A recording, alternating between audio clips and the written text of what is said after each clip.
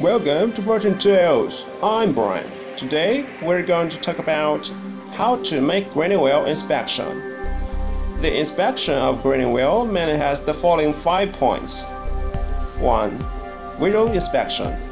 Make sure all parts of the wheel are smooth, without gaps and cracks. 2. Vernier caliper. Vernier caliper is a measuring tool for measuring length, internal and external diameter depths. 3. Hardness test.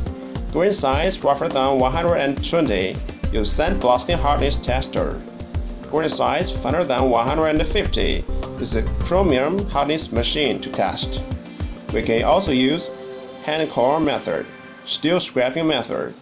According to the hand cone or scratch to recognize roughly.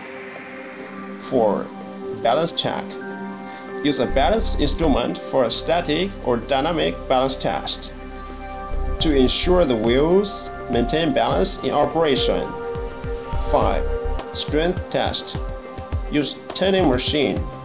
In accordance with the provisions, grinding wheels diameter larger than 125 mm must make rotation test.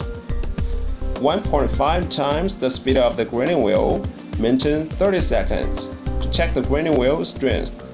Need more help? Search forturetools at youtube.com or visit www.forturetools.com.